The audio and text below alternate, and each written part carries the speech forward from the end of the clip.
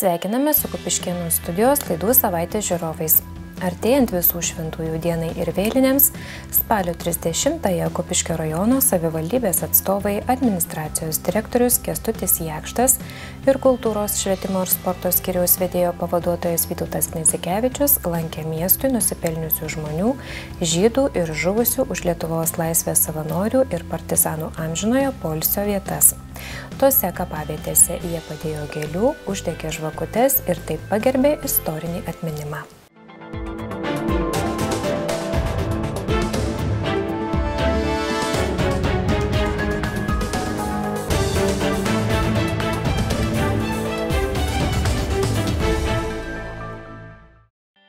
Viešo nuomos konkurso būdu išnuomojamos Kupiškio rajono savivaldybei nuosavybės teisė priklausančios ir šiuo metu uždarosios akcinės bendrovės Kupiškio autobusų parkas patikėjimo teisė valdomos 15,01 kvadratinio metro, 15,59 kvadratinių metrų ir 16,82 kvadratinių metrų ploto negyvenamosios patalpos, darbo kabinetai esantys dviejų aukštų autobusų stoties pastato antrame aukšte, Kupiškio mieste Gedimino gatvė 96.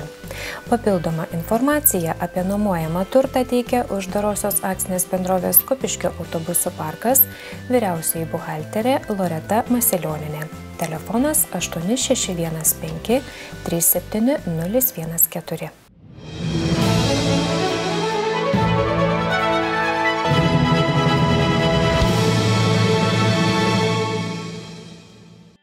Kopiškio vaikų lopšelis darželis Obelėlė įgyvendino projektą Sportiniai šeimų vakarai. Bendrai finansuojama valstybės sporto remimo fondo lėšomis, kurį administravo Švietimo, mokslo ir sporto ministerija ir Švietimo mainų paramos fondas. Buvo sudarytos sąlygos projekto dalyviams du kartus per savaitę, birželio, spalio mėnesiais laisvalaikį leisti sportuojant. Žaidžiant krepšinį, futbolą, tinklinį, tenisą, mankštinantis ant treniruoklių, gimnastikos įrengimų. Projekto lėšomis įsigyta sportinio inventorius už 6000 eurų. 5580 eurų sporto remimo fondo lėšos, 420 eurų Kupiškio rajono savivaldybės lėšos. Nupirkti 3 nauji treniruokliai, 5 gimnastikos įrenginiai, 2 krepšinio stovai, tinklinio stovas, kamoliai, 2 bokso kreušės, kitas smulkus sportinis inventorius. Įvyko 37 fizinės veiklos ir keturios šventinės dienos, kuriuose dalyvavo 48 Kupiškio vaikų lapšelio darželio obelėlio ugdytiniai, 82 ugdytinių tėvai, 25 darželio darbuotojai, 27 Kupiškio miesto kraštiečių mikrorajono vaikai, jaunuoliai, 37 suaugusieji ir Kupiškio miesto kraštiečių mikrorajono ir iš kitų vietovių. Seminarą Ramybės takais mirusiųjų pagerbimo papročiai Lietuvoje vedė lektorė etnologė Gražina Kadžytė. Kupiškio viešojoje bibliotekoje įvyko seminaras Ramybės takais mirusiųjų pagerbimo papročiai Lietuvoje. Seminaro lektorė etnologė Gražina Kadžytė. Šiandien mes turime baigiamąją mūsų projekto Smėlėtais ramybės takeliais, kurio vadovė yra mūsų Jolanta ir mūsų šio renginio viešnia. Štai kartu su mumis etnologė Gražina Kadžytė, viena iš na, autoritetų, tikrai neginčiamų autoritetų šioje srityje. Todėl... Ginčytis galima visą. Daug bet, bet šalia Liberto Klimpos ir dar vieno kito aš tiesiog ne, neraščiau daugiau autoritetų. Todėl labai džiaugiuosi, kad mums pavyko suderinti Šilantas didelis nuopelnas ir laiką, ir vietą, ir kad mes galim štai čia, tokio aplinkoje, nu, pakankamai jaukioj turbūt, ne? Pasišnekučiuoti. Praėjusį rudenį gimė sumanimas suregistruoti žymių žmonių palaidojimo vietas. Šiame krašte gimusių, gyvenusių, iškilius veiklos pėtsakus palikusių ne tik Kupiškio krašte, Lietuvoje, bet ir už jos ribų. Parašius projektą Smėlėtais ramybės takeliais interaktyvi kelionė ir gavus dalinį Lietuvos kultūros tarybos finansavimą bei parėmus Kupiškio rajono savivaldybei, planai pamažu virto realiais darbais. Praėjusį rudenį gimė sumanimas surasti, užfiksuoti mūsų rajono kapinėse palaidotų žymių žmonių savo veiklą gyvenimu, kažkuo tai garsinusių mūsų kraštą žmonių amžino polsio vietas. E, juos nufotografuoti jų amžino polsio vietas kapus ir padaryti interaktyvų žemėlapį. Taip sukuriant naują inovatyvę bibliotekos paslaugą, na ir žinoma, suaktyvinant kraštotyrinę veiklą. Taigi parašėm projektą, gavom dalinį Lietuvos kultūros tarybos finansavimą ir nuo pavasario jau pradėjome projekto veiklas. Pirmiausia, buvo surinkta informacija apie tuos žmonės palaidotus. Čia įsijungė Kupiškio viešosios bibliotekos darbuotojai, padalinių darbuotojai, trečiojo amžiaus universiteto lankytojai, savanoriai, seniūnijų darbuotojai. Ir pirmiausiai surinkę tą medžiagą, mes pradėjom veiklas toliau. Rengiam tų žmonių biografijas trumpas, kurios pristato tą prasmingą veiklą jų. Fotografavom kapus, rinkom tų žmonių nuotraukas ir parengėm visą medžiagą interaktyviam žemėlapiui, kurį mums pagamino kompanija Ieško komunikacijos. Ir jis dabar yra patalpintas internete, prieinamas mūsų Kupiškio viešosios bibliotekos interneto svetainėje. Mums atidaro interaktyvų žemėlapį. Pirmiausia, pateikiamas rajono žemėlapis su mirksinčiamis nuotraukėlėmis kapinių. Čia sužymėtos ne visos rajono kapinės, tik tai tos, kuriuose radom tų žymių žmonių mūsų įvardintų. Toliau važiavus žemyn,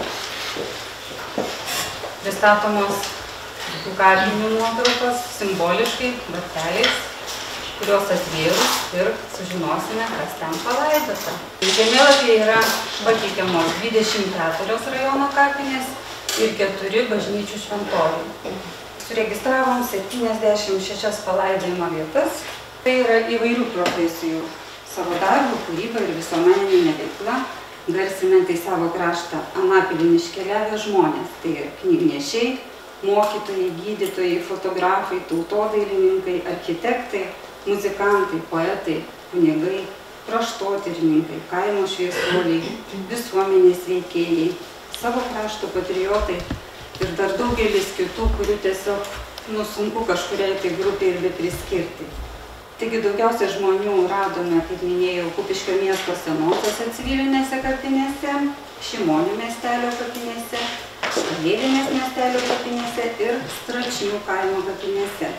Prie šių kapinių vartelių yra pastatytos informacinės lentelės su QR kodais užšifruota informacija, kurią nuskaičius QR kodų skaityklę, programėlę ir atvers jūs į, į tų kapinių mūsų internetinę puslapį. Projekto veiklos eina į pabaigą. Šiandien vyksta seminaras, tokia nelabai linksma tema, bet, bet yra toks gyvenimas. Ir dar laukia mūsų viena veikla, tai dar kartą pagerbti tuos žmonės, kuriuos mes minime žemėlapyje. Tai už projekto lėšas nupirkome žvakių ir dar prašysime, kad pagalbininkų taip pat ir patys važiuosime į tas kapines, uždegsime žvakelės atminimo ir pagerbsime jų atminimą tylos minute. Kad sukurtume šį žemėlapį ir įvykdytume visas šitas projekto veiklas, tikrai buvo ne vieno žmogaus darbas. Aš kažkurį vakarą taip sėdėjau ir galvojau, kad mes skrajojam kaip bitės čia po rajoną ir rankiojam po kropelę ir po trupinėlį nešėme į tą avilį. Ir kas dabar be pasakys, kiek kuri čia ta bitė to vadinamo nektaro atnešė. Todėl visiems labai noriu padėkoti už jūsų indėlį, kad šiandien mes turime šį projektą. Prie Kupiškio miesto senųjų civilinių Šimonių miestelio, Palėvenės miestelio ir Stračnių kaimo kapinių, kuriuose ilsisi daugiausiai žymių žmonių, pastatytos informacinės lentelės su QR kodais užšifruota informacija apie tose kapinėse palaidotas iškilęs asmenybės. sukurta nauja viešosios bibliotekos inovatyvi paslauga, leidžianti virtualiai aplankyti Kupiškio rajono kapinėse palaidotų žymių žmonių amžino polsio vietas. Ačiū Sandrai Šinderytėjai. Ir dar vieną ačiū parveškite Onutei, kuri taip pat padėjo Eina. su informacijos rinkimu. Ačiū. Ačiū Adelinai Bučinskienė, kuri ten tiek pri, pri, pri, prirašė mums tų žmonių, kad net atranką darėm. Radina surado tikrai daug ir džiaugiamės jūsų atradimais. O tai- čia jūsų padėjėjai, įvardinkite garsiai. Renata Misiūnienė. Prašom parvežti ir padėkoti. Ačiū Rytai Liogenį. A, Rita. A, Rita, ačiū.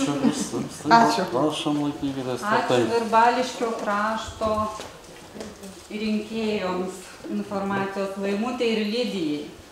Ten daug kapelių, daug važinėjimų, daug reikėjo.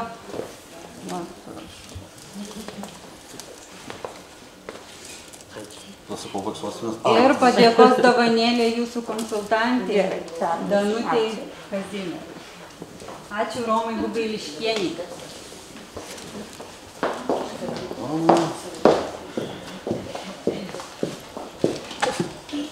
visada. Ačiū Gražinai Lausieniai.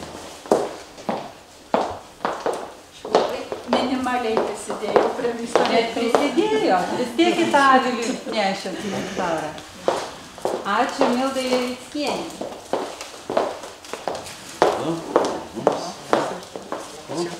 Ačiū Irenai Gasparoniai. Ačiū, Žana. Žana, Auksas. štai Ir jūsų Trynas. pagalbininkiai, įvardinkit garsiai. Aldona Ramanauskinė. Visur ir visada. Taip. Taip, žinom, mes Ačiū puikiai žinom. Egidija turėjo gausų būti pagalbininkių. Taip. Gau- Gausų būrį. Tai čia irgi gal įvardinkit tuos žmonės. kurie Vitalija, padėjo. Rima ir Danutė. Ačiū Audroniai Bukieniai. Ronė. Audronė taip pat turėjo dvi pagalbininkės, kuri viena iš jų buvo mūsų buvusi kolegė Janina Palšiūnienė. Ir dar vieną moterį įvardinkit. Subačiaus miestelio gyventoja Filomena Štankelienė. Tai va prašom irgi tada kažkaip perduoti tas tas padėkos dovanėlės.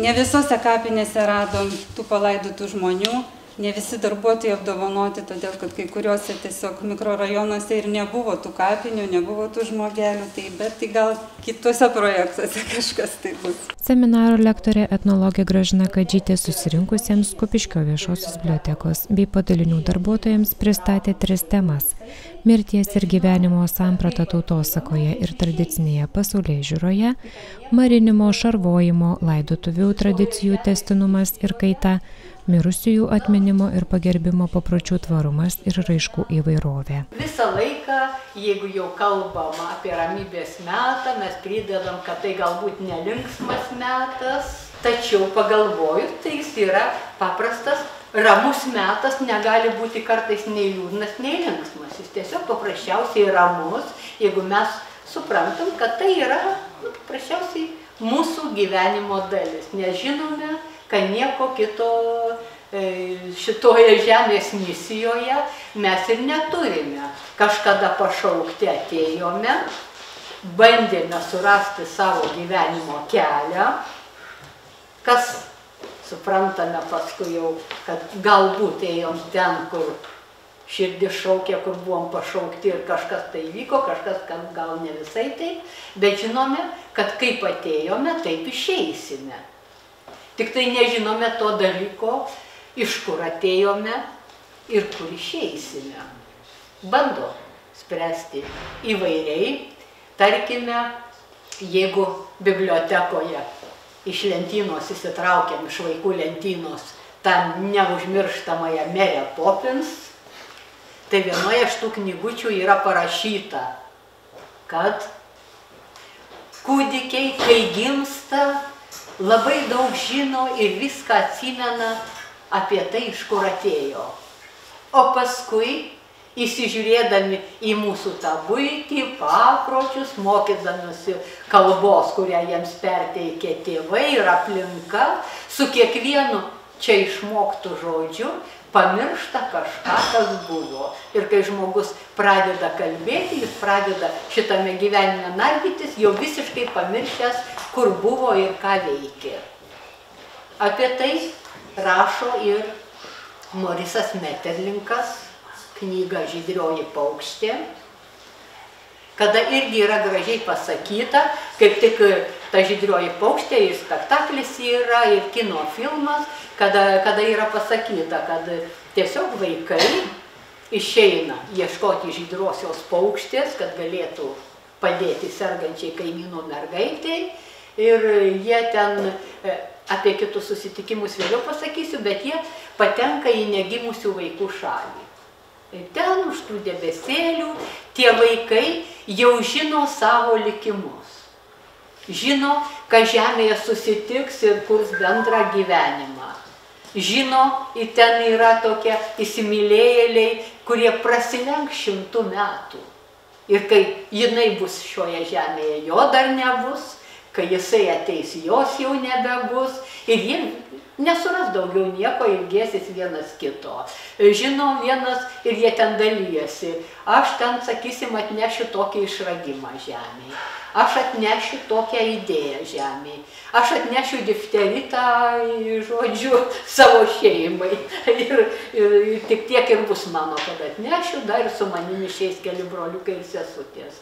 Ir štai šitie vaikai laukia, kada juos pašauks tėvai, kada jie ateis į žemę ir kada jie įvykdys savo skirtį ir vėl turės išeiti. Ir kaip žinome, ta žmogaus skirtis mūsų ir tautosakos gelmėse, kur, iš kurios perima ir literatūros kūrėjai, o be abejo, giliausi literatūros kūrėjai yra tie, kurie yra įsigilinę į tą folklorą, folk, liaudis, tauta, lorė išmintis, būtent į tautos išmintį ir perkelia. Tiesiog žino, kad gal žmogui skirta šitoje žemėje šimtas metų, gal skirtos tik kelios dienos, bet vis tiek tai yra tam tikra prasme. Tam tikras pašaukimas, tam tikra, tam tikra misijos dalis, tam tikras vaidmuo gyvenimo scenoje. Ir taip žmogus perina per gyvenimą, vėlgi ir senieji mūsų žmonės sako, na, yra tik tai du tikri taškai. Gimėm ir mirsime, atėjom ir išeisime. Visa kita, kas vyksta mūsų gyvenime, nebūtinai turi įvykti. Visur pasaulyje ir visose religijos svarstoma, kiekviena religija turi savo vaizdinį, kur išeina žmogus ir ką jis veiks po to. Vienaip ar kitaip, na čia labai gražiai vėl yra e, pasakęs rusų literatūros klasikas Fiodoras Dostojevskis, ten tam romane, kur tai broliai Karamazovai, e, kur, kur kalbamasi, diskutuojama ir, ir su, su velniu diskutuoja vienas iš brolių ir paaiškina, kad žmogus anapus tos lenkščio ras tai, ko jis tikėjosi, bet gal ir nesitikėjo. Ir ten pateikia kad štai vienas buvo visiškai įsitikinęs ateistas, kad jokio nėra pomirtinio pasaulio, jokio nėra dangaus, jokio nėra pragaro, bet kai perėjo mirties lengsti, atsidūrė tame pasaulyje. Ir tokia intriga. Ir ką tada daro įsitikinęs ateistas, kuris pasaulį modeliavo taip, kaip man atrodo, taip ir turi būti pasaulis. Jis protestuoja. Jis atsigula ant kelio vedančio į dangų ir pasako, kad nežengs nei žingsnio, nes ne tai netitinka jo įsitikinimu. Na ir susidomėjęs pašnekovas jau klausė tą žinantį pasakotoją, sako, tai ką jis ir dabar ten tebe guli? Sako, na ne, galų galia jam nusibodo gulėti, įdomu pasidarė, jis nuėjo į tą rojų ir kai pamatė, Tai sako, tapo olesnis šlovintojas už visus angelus, kad net jau angelai sako, kad jis jau per daug ten rytų filosofijose, ir čia iš budizmo teorijų įmant, e, galima cituoti irgi toks, tokia sentencija. O dėl mirties tai niekas nežino. Galbūt jinai yra aukščiausias gėris. Galbūt yra tai tokia laukiamybė, kurios mes net negalime tikėtis. Tik tai paprasčiausiai mes nežinome, ko laukti, ko tikėtis. Ir dėl to daugelis to prisibijo. Ir tada, pavyzdžiui, toje pačioje filosofinėje plotmėje mes matome, kaip rytuose palydimi mirusieji, kada yra sakoma, kad nusimesk tą kūną, kaip palaikį sunešiotą drabužį ir eik, kur gausi naują šviesos drabužį. Atitinkamai ir mūsų, e, kiek sunku pasakyti, kiek mes galim patikrinti, nes praėjo tūkstančiai metų, bet e, yra mūsų etnologijos užrašuose užrašoma, kad senovės mūsų protėviai irgi sakydavo, eik vargšė siela iš šito pasaulio, kur tu kovojai, vargai kentėjai, į geresnį pasaulį, kur tau jau viskas bus e, atidovanota už tavo visus vargus, už tavo visus kentėjimus. Yra mūsų tuose senuosiuose įsivaizdavimas tas dausų e, vėlių langeliai, vėlių suolelis, kada raudose irgi Dzukijoje išliko labiausiai raudos ir iki šiol turime, kaip sakysime, kreipiamas į anksčiau išėjusius, tik jūs pirmesni, tik jūs gudresni, priimkite ten savo vaikaitį ar provaikaitį, paimkite už rankų, veskite pro vėlių durėlės, pasodinkite ant vėlių solelio, kur amžinas džiaugsmas, amžina šviesa, amžina ramybė. Lygiai taip pat mes ir krikščioniškame e, supratime mesgi sakome amžinąjį atilsį duok mirusiems viešpatė ir amžinoji šviesa jiems te šviečia. Iš karto mes suprantame, kad ten atilsis, ramybė, šviesoje ir gerume, ne tamsoje, ne kur nors blogai, e, ne kažkur tai, tas palinkėjimas yra toks. Raudos apskritai yra toksai, pasakyčiau, labai gilus šaltinis, iš kurio galime semti ir suprasti mūsų tą sampratą. Dabar mes, norėdami tų raudų ir beje jau per visą 20 amžių, ieškojom jų Dzukijoje, bet tai nebuvo vien tik tai regioninis Dzukijos privalumas jos buvo senesnėse kultūros fazėse, jos buvo visur. Pavyzdžiui, netgi apie aukštaičių kraštą paliudyja Vandos Juknaitės knyga Šermenys, kur Vanda Juknaitė rašo, jinai aukštaitė. Rašo, kad štai e, po antro pasaulinio karo staiga aukštaitėje užsibaigė raudojimo tradicija. Ir jinai labai gražiai vaizdžiai aprašo, kad e, per laidotuvės, e, žodžiu, Malciaus e, raudon plaukė, jo, na, tai rudoplaukė žmona, rudoplaukė, raudon plaukė šverstakė Malciaus karusė užverkavo išlydint. Vailuškit žalėja medeliai, vaižumuškit bėrų į žirgelį, tai neišvažiuos mano pranciškiukas. Ir važnyčiotojas palūknis, krūptelėjęs iš netikėtumo, staiga atsako, ai boba, ku tu misligi, svetimas arklys neįsimokėsi.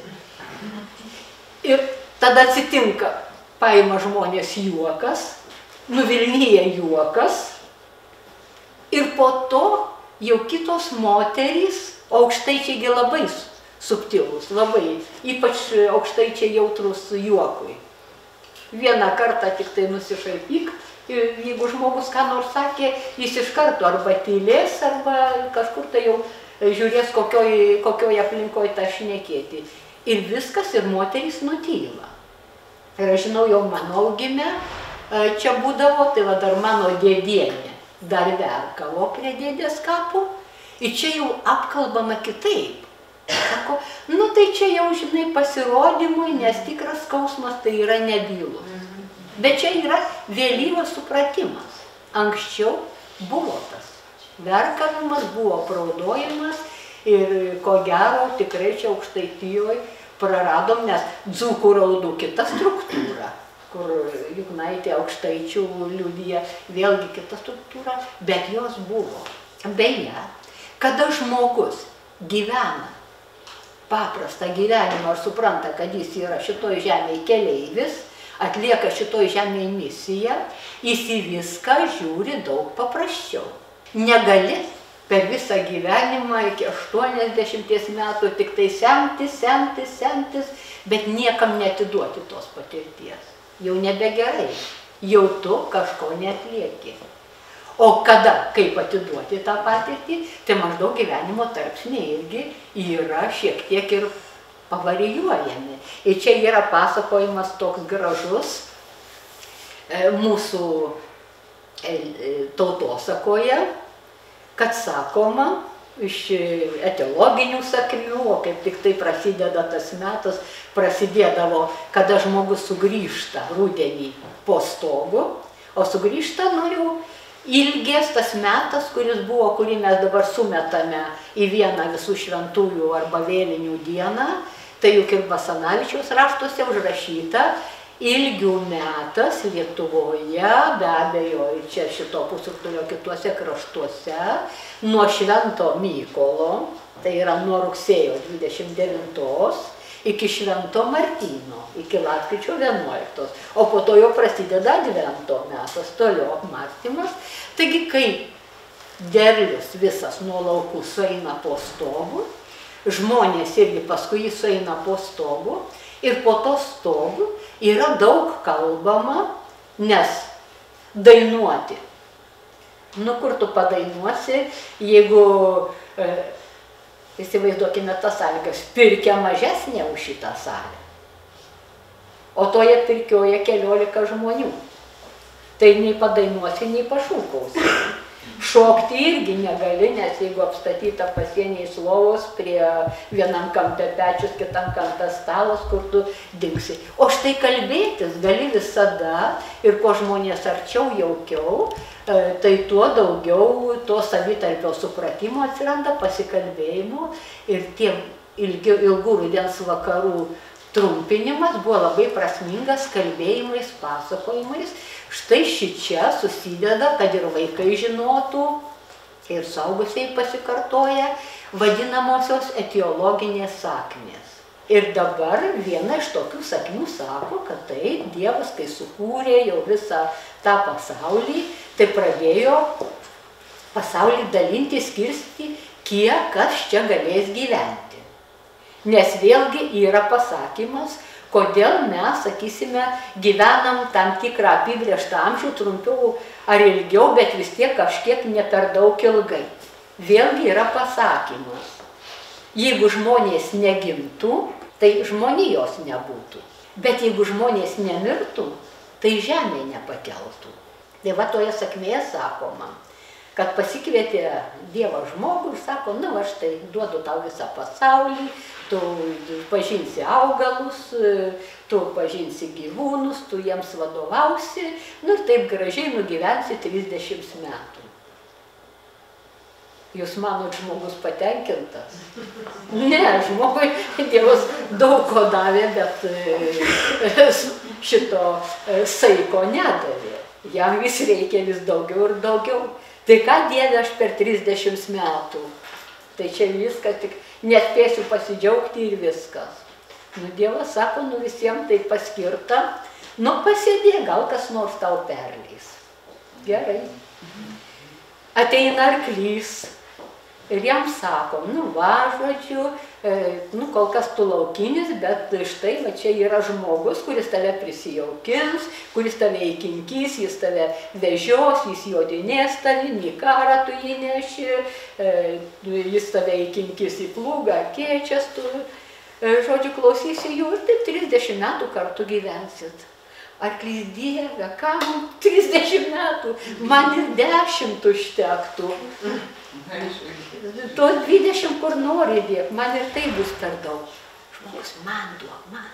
Na gerai, Dievas sako, pridedu tau. Gerai, sėdi toliau. Ateina šuo. Ir vėl Dievas pristato, nu va, prisijaukins tave žmogus, tu jį visur lydėsi, nuo visų ginsi pavojų, tu visur jį užstosi, tu visur jo lauksi, tu visur, žodžiu, e, jį sergėsi, jo turtą, viską. Nu, jis tau gal kokią būdą kiemę sukals, o jeigu ne, tai tu kur nors palindęs e, ten kokioj palėpiai, e, žodžiu, patvartėjai kur nors būsi, bet tu jau sergėsi už jį viską stusi ir 30 metų vis kartu būsi. Oi Dieve, nereikia man tų 30 metų, 20 metų atiduok, kam nori. Žmogus merkia akį, atiduoda žmogui. E, Po to dar, tai šiaip senosios sakmės jau ant to pasibaigia. Tai įsivaizduojam 30, 20 ir dar 20, 70 metų. Ir natūralu, kad žmogus, na, toks žmogus amžius būdavo. Vėlesniam laikė, kada žmogaus amžius prailgėjo, Tai ir žmogus daugiau pasaulio pažino, tai jau vėlesnėse sakmėse mes matom, kad dar kažkas pridėjo ir beždžionę. Kad beždžionė, nu, parodo, kaip sakoma, e, čia jau, kaip ir, kaip ir sakysime, panašumas į žmogų toksai, tai žmogus dėl to tave čia irgi, kai prisijaukins, tai tu ten galėsi mm, krėsti vaipytis, krėsti pokštus, linksmyti jos, jo vaikus ten, nu, tave narve laikys, rodys visiems viską, nu, va, 30 metų bežionė nereikia, 30 metų ir, atidu, ir atiduoda žmogui dar. Ir tada daromos išvados, kad 30 metų žmogus gyvena savo amžių, savo gyvenimą. Tai va, šitas 30 metų žmogui ir yra skirtas viską surinkti, susikaupti, kas tavo gyvenime turi būti svarbu. Toks dalykas eina, žmogų per gyvenimą lydi ir buvo tokie, tokie, tokie dalykai, tokia samprata, e, kuri dabar vėlgi labai iškreipta yra. E, Dabar netgi žinau tokių, nu man truputėlį širpokų atvejų, kad tarkim miršta motina ir vaiką išveža kur nors pas giminės, kad visiškai iškia nematytų laidotuvių. Atsiai taip, jam čia bus šokas ir kas nors be abejo, laidotuvių tas metas yra labai sunkus, labai sudėtingas e, ir tikrai vaikai labai įvairiai reaguoja. E, Ir, ši, ir šitas dalykas vėlgi yra e, toksai, pavyzdžiui, Bronė Buividaitė. Jinai yra e, savo autobiografinės knygas parašius, vargai vartus kilnoja.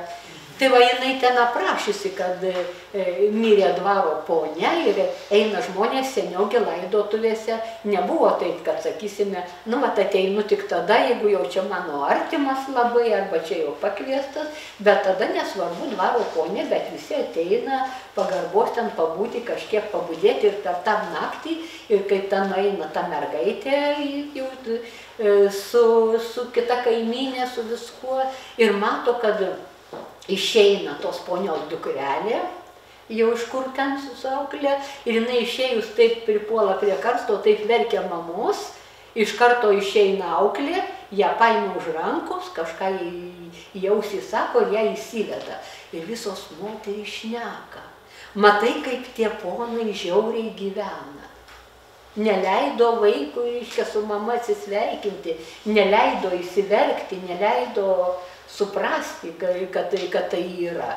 Jau, sakysime, jau buvo tokių apraiškų, bet tos apraiškos buvo nepriimamos. Nu, negali būti taip. O dabar mes matom tokį ir aš jau esu pastebėjus ir užfiksavus tokių atvejų, kad tikrai kažkur toje aplinkoje buvo, jog nuo vaiko laidotuvės nuslėptos ir taip sudaro žiaurę psichologinę problemą. Vaikas nežino, kur dingo. Jo mama ar tėtis ar dar kažkos. Galbūt jis pamestas, galbūt jis kažkur, galbūt, e, tarkime, čia e, žinau, kad iš vienos giminės mergaitė, tai dabar visą laiką, kai važiuoja pro santariškės, jinai veržiasi į ligoninę pas mamą. Nes jinai mama paskutinį kartą matė santariškių ligoninį. Ir netiki, dabar sako, e, ją jau nuveža rodo kapelį, jinai netiki. jūs meluojat. Jeigu nemeluojat, jūs atkaskit, parodykit. Įsivaizduojat, kokia žiauri situacija. Vien dėl to, kad kažkaip tai kvailai buvo nesuprantant, jog žmogus yra pilna jausmų būtybė. Ir kad šitaip jausmo nenubrauksi. Šitaip jausmo nenubrauksi. O kitas dalykas, nesuprantama dar tas dalykas, kaip sakiau, kad augantis žmogus kaip kempinėlė sugeria viską, sugeria mūsų visus ir jausmus, ir elgseną, ir visą kitą, tai modeliuoja savo pasaulį, kad kuo mažesnis jis pamatys tą realybę esamą, tuo paprasčiau jam bus. Tuo paprasčiau, tuo labiau jis pripras. Ir šitą mes matom e, tokiais atvejais, kai tarkime mūsų kaimas labai įdomus buvo toksai, nors ir čia aukštaitijoje mes tokie jau esame e, šiek tiek e, modernesni, bet vis tiek modernumas susisieja ir su labai senais dalykais. Ir galimas dalykas, kad va ta samprata, kada modernumas eina su labai gilia gelme, tai yra ten, tuose kra- pakraščiuose, kur mūsų protėvių gentys kadaise yra gyvenę paribiuose. Kad štai riba ir už ribos jau kažkokios kitos gentys ir tada reikia atsilaikyti, tai tiesiog imi ir naują, kuris ateina per tą ribą, bet vis tiek labai išlaikai tą senąją sampratą. Tai va mūsų kaime paprastai dar ir mano vaikystėje buvo taip, e, dar kai mirdavo seni žmonės, tai žinodavo, nes nu, senas žmogus vis tiek, jo jėgos senka ir vis tiek jis žino, kad ateis tas, tas laikas. Tai eidavo jau kaiminės ir būt- pabudėti prie, prie ligonio ir taip toliau. Ir kai matydavo, kad jau tos paskutiniosios, čia ir kuniga kviečia, ir be abejo susirenka daugiau kaimynų. Ir ką tie visi kaimynai darydavo. Taigi mūsų vaikų namie nepalikdavo.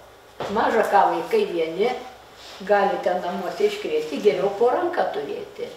Ir viskas, ir vaikai būdavo šį čia pat.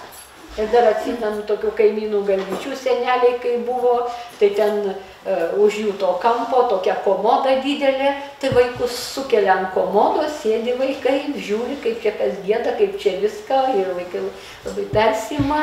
Ir jau, sakysime, kaip stebi ir suaugę, kaip, sakysime, išeina. Ir mes stebim ir matom, kaip ir gražiai išeina tas žmogus iš to pasaulio ir visa kita. Tai labai paprasta, paskui ten laidotuvėse pabūna, kiek ten kas nors, jeigu arti, arti kapinės, tai kapinės, jeigu jau netui tokių. Ir viskas yra paprasta. Ir taip užaugi ir nėra tos baimės, nėra to visko, žinai, vienas išėjo, kitas, trečias ir taip toliau, vienas paskui kitą ir, ir bus mes ir net netgi sakysim, žinai, arba kai sakysime, tų senųjų moterų suprati, sakysime, įkapės pasiruošti. Nu vėlgi toks gražus dalykas ir yra paliudyja, va taip irgi mano amžiaus marčios, tai čia ypač e, Vilniaus Kauno, tos miestelėnų aristokratiškos šeimos, taigi stebėdavo, sakydavo, va mano Anita parodė drabužius, kuriais aprengti ir netgi pasakė, kaip ją sušukuoti ir kad ją truputėlį dar ir padažyti reikia, tada dar tos paslaugos nebūdavo. Viskas, nu, tiesiog pasiruošė žmogus. Perėjimui. Liktai, sakysim, tada žmogus ne tik tai priima tą kaip duotybę, būtinybę, bet jis netgi ima į savo rankas. Tada, jeigu aš jau pereinu, tai aš turiu pereiti gražiai, tvarkingai, taip kaip sakysime, e, kaip aš įpratus. Ir čia vėlgi yra e, Filip Arijas, prancūzų mąstytojas, e, yra iš, parašęs knygą, jinai išversta į lietuvių kalbą, mirties samprata senosios Europos kultūroje. Ir nuo to samprata, mirties samprata, kaip, kaip sakysime, tai Filip Arijas, jis yra pasakęs, kad tiesiog iš žmogaus atimtas labai svarbus dalykas - vadovauti netgi savo gyvenimo finalui. Gražiai, e, kada e, sukurti netgi, netgi sakoma, kad tada žmogus pasiruošia ir vėlgi čia yra literatūroje nemažai, net Filipo Arijas, Arijas šita tai yra mokslinė studija, Bet va vėlgi galima prisiminti Elizos Ožeškienės, Ožeškova e, prie Nemuno, irgi yra versta į lietuvių kalbą. Ten yra tas aprašomas laikotarpis po 1863 metų sukilimo, maždaug XIX amžiaus pabaiga. Po sukilimo bajoras su šeima pabėga į, į Ameriką, Amerikoje gyvena, o čia likęs ūkio ūkvedys, paveldėtojas, e, tvarko visą tą ūkį ir laukia, kada grįž dvaro šeimininkai.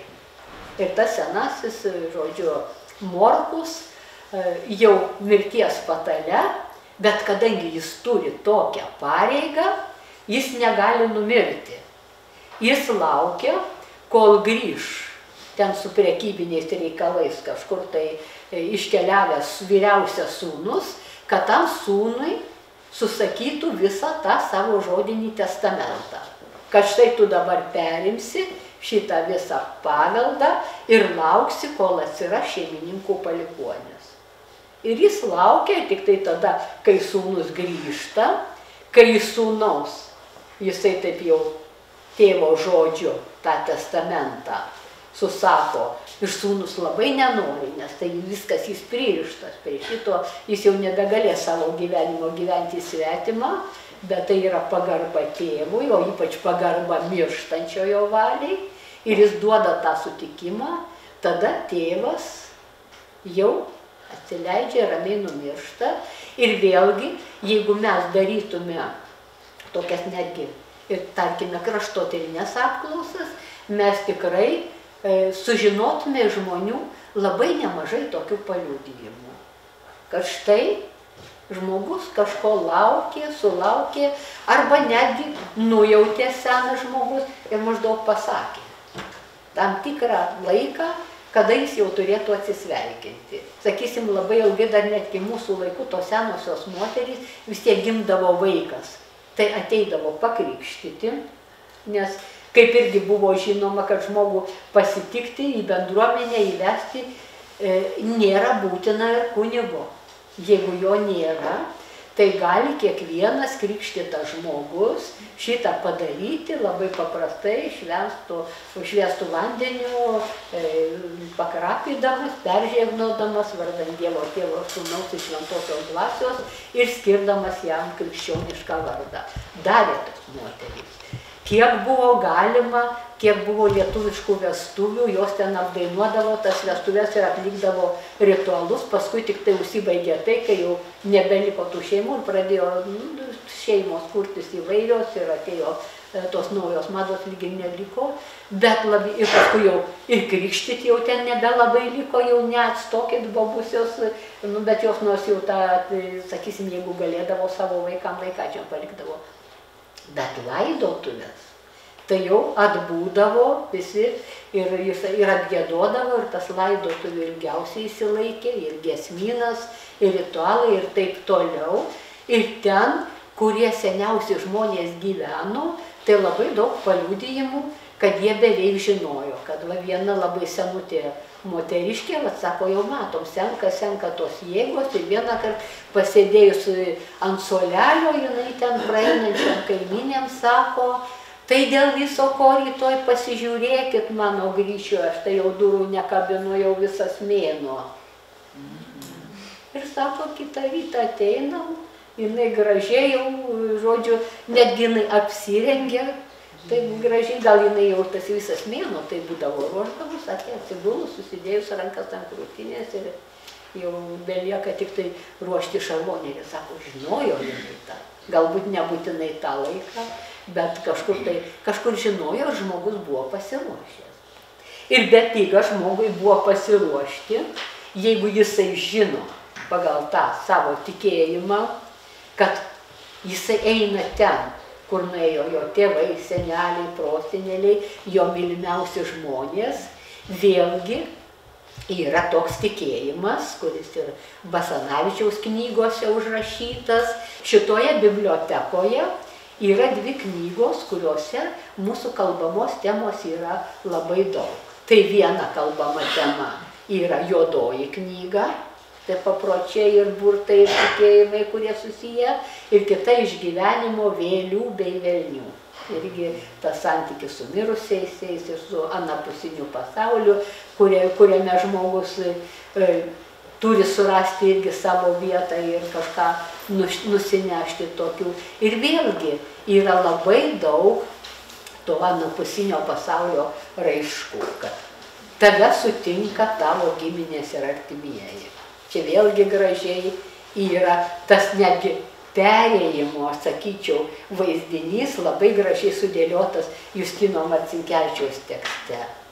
Taip atverti duris, peržengti slengsti, atsigerti iš vandens kibiro palei, palei duris, už stalo sėdi giminės ir artimieji, bet kodėlgi jūs tylit, kodėl atskirai jūsų rankos, jie tyli ir žiūri į tuščią vietą prie stalo. Aš prieinu, sėduosi ir ant savo rankų jaučiu mylimieji jūsų rankas. O laikas vis eina ir eina, kažkas prie tėmoje atsidūsta, jau vakaras. Na, Marcinkevičius tą perėjimą labai gražiai yra pateikęs. Tai irgi perimta iš mūsų tos sampratos, iš bendrosios mūsų sampratos, kur buvo sakoma, kad tave einantį į aną pasaulį pasitiks visi tie, kuriuos palydėjai į tą pusę. Ir štai ši čia, tada jau užsidaroma, ne, tik neužsidaroma šeimos giminės rate, ne tik bendruomenės, tam tikros lokalios bendruomenės rate, kurią jungia, ar sakysime, seniau tai buvo kaimas. Ir kaimas turėjo kiekvieną savo kalnelį kapinaitės, arba vėliau parapija ir parapijos kapinės, jau didesnė bendruomenė, bet netgi visi tie, kuriuos vienaip ar kitaip palydėjai.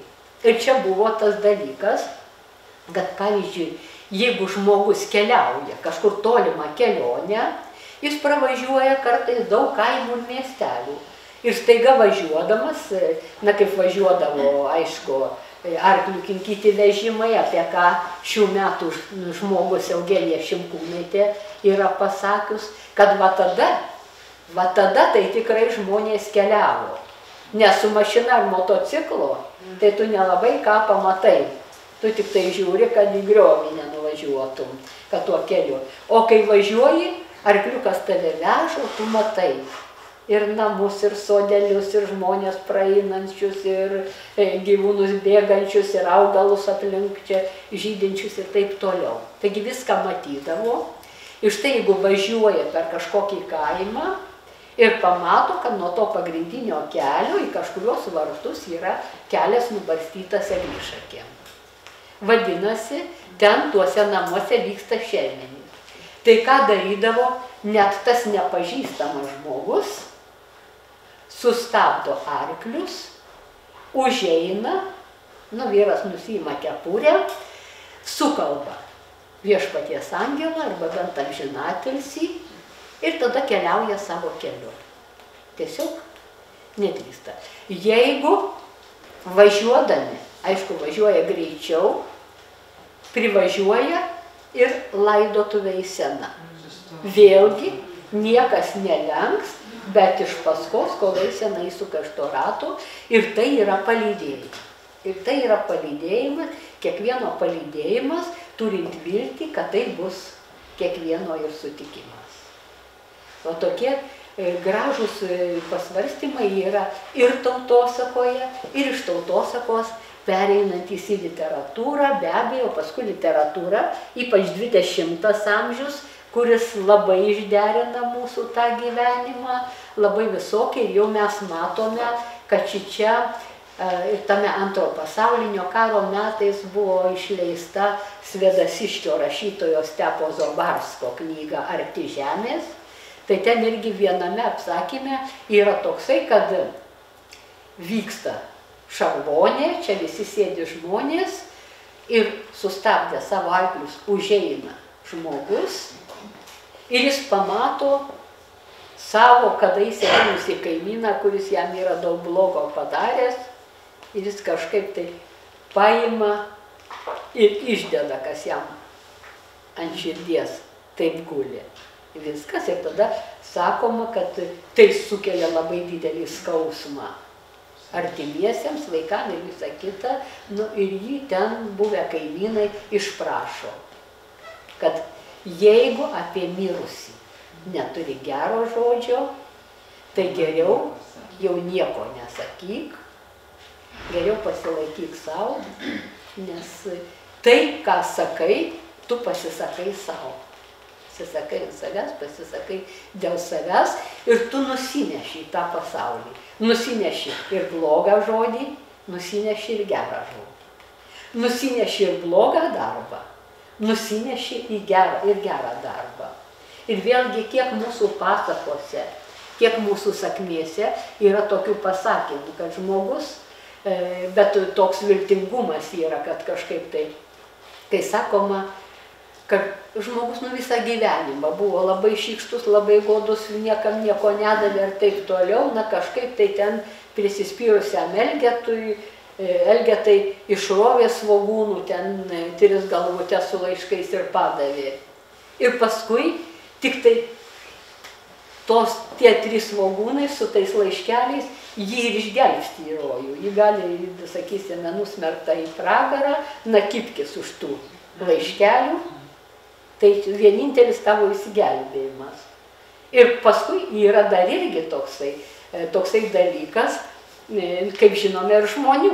E, pagal, sakysime, išminti irgi sakoma, kad žmogus, jeigu jis gyvena natūraliai tą gyvenimą, suprasdamas, kad kiekviena gyvenimo fazė yra labai svarbi ir jinai tavo gyvenimui, tavo, tavo sakysime, būčiai yra reikalinga, tu viską atlieki ir dėl to senas žmogus, kai sensta, kai jis mato, kad nebegali padaryti kažkokios veiklos, tokių veiklių darbų, na tai tada jis, taikim, užsijima galbūt patarimais, kurių reikia. Bet apie patarimus, kaip sakoma gyvensenoj, kad nesiūlyk patarimo, jeigu tavęs neklausia, bet gyvenk taip, kad visi klaustų tavo patarimo. Etnologė Gražina Kadžytė išsamei apžvelgė mirties ir gyvenimo sampratą tautosakoje bei tradicinėje pasaulyje žiūroje, besikeičiančias gedulo laidojimo tradicijas, mirusiųjų atminimo ir pagerbimo papročių tvarumą bei raiškų įvairovę.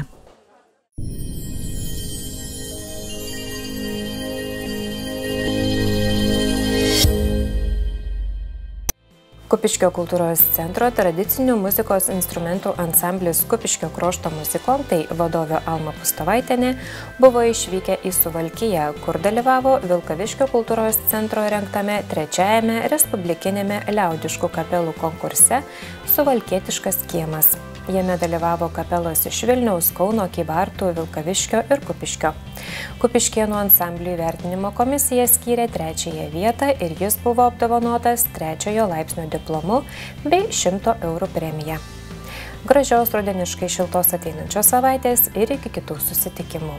Būkite ir likite sveiki.